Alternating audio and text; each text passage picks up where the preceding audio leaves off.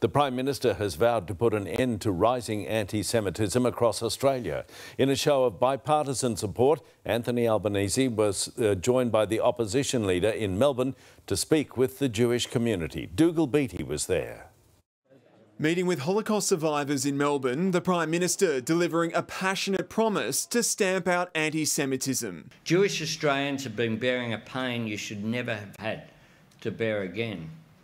And you are feeling fear in a rare show of political unity, Anthony Albanese shoulder to shoulder with the opposition leader. Whenever and wherever the forces of anti Semitism are on the march, there is a need for moral courage and moral clarity.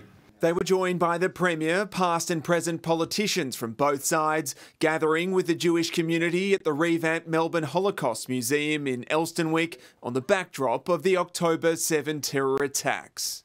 Standing here today in this place makes that day feel even more raw. A poignant reminder when anti Semitic attacks are on the rise, echoes of the darkest moments of humanity.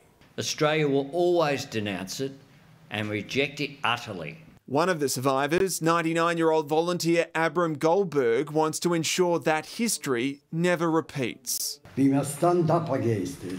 Our voices need to be heard the Holocaust Museum is now reopened following an extensive renovation. It features two exhibits recognising the contribution survivors have made to Melbourne.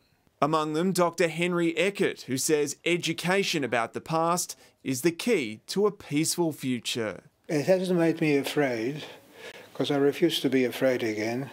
It's made me angry. Dougal Beattie, 9 News.